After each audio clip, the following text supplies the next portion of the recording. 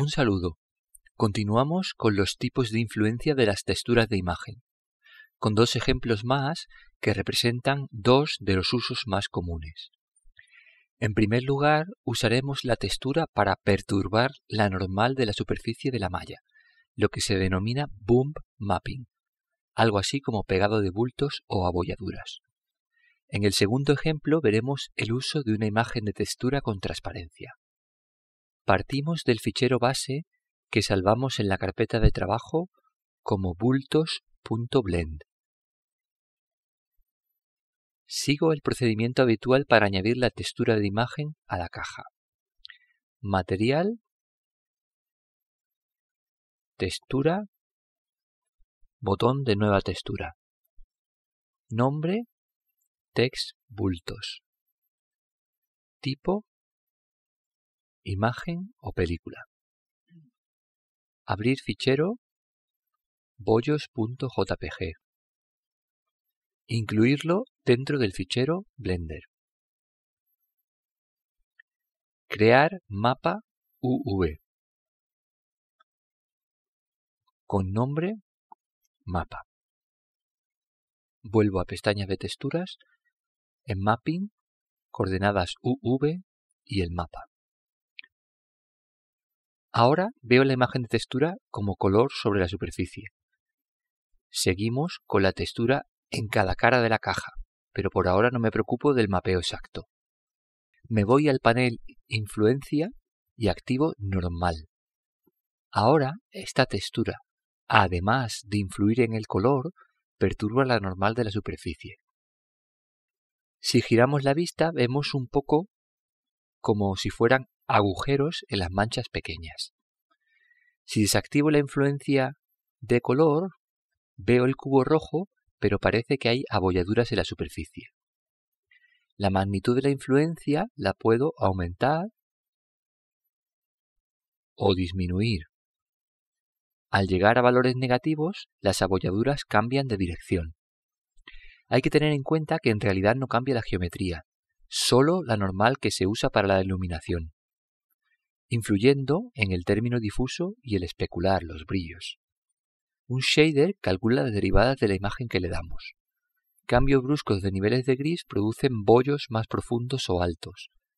Cambios suaves menos profundos. Lo dejo al final en 2 positivo. En la parte inferior de la influencia nos permite cambiar la calidad del boom mapping y lo que parece ser su espacio de coordenadas. Salvo el fichero. Esa técnica nos permite añadir un grado adicional de realismo a un objeto añadiendo irregularidades o rugosidades a la superficie sin necesidad de alterar la geometría. Abro un nuevo fichero Blender, File New y confirmo. Guardo el fichero en el directorio de trabajo como traspa.blend. Sigo los mismos pasos de siempre para añadir una textura al cubo pestaña material, pestaña textura, nueva textura, nombre text tras, tipo imagen o película, abrir fichero estructura PNG, que es una imagen en formato PNG, un formato que como GIF soporta transparencia. Incluirla dentro del fichero Blender en la pestaña de datos crear un mapa UV, ponerle por nombre mapa, volver a la pestaña de texturas y en mapping poner UV y el mapa. En la zona de previsualización pulso Show Alpha. Veo el típico tablero tipo ajedrez que representa la transparencia. Se trata de una especie de marco rojo con varios travesaños, pero sobre el objeto no veo la transparencia. Vamos a ver cómo configurarla. Primero, me voy a influencia y bajo color activo también alfa. Ahora lo veo blanco pero no transparente. Me falta ir a la pestaña de material y activar transparencia de tipo Z. Con alfa 0.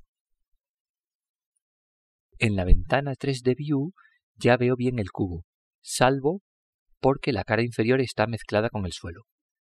tiro un poco del eje Z del gizmo hacia arriba para separarlo un poco del suelo. Si pulso F12, en el rendering que aparece se ve correctamente, salvo porque la luz no pasa por las ranuras transparentes. Sin embargo, si me voy al Game Engine, P, no veo las caras de detrás. Esto es porque por defecto está activado el descarte de caras de espaldas. Este es uno de los casos en que hay que desactivarlo para el Game Engine. Selecciono el motor Blender Game Engine y me voy a la pestaña Game Settings de Material. Desactivo Backface Cooling. Acerco el cubo. Si ahora lanzo el Game Engine, veo las caras de detrás, pero tengo un pequeño lío. El motor no controla bien qué caras están delante de otras. Salgo como siempre con escape. En el parámetro Alpha Blend selecciono Alpha Clip, que es el método de rendering que soluciona este problema. Pulso P otra vez y ya sale correctamente. Salvo el fichero.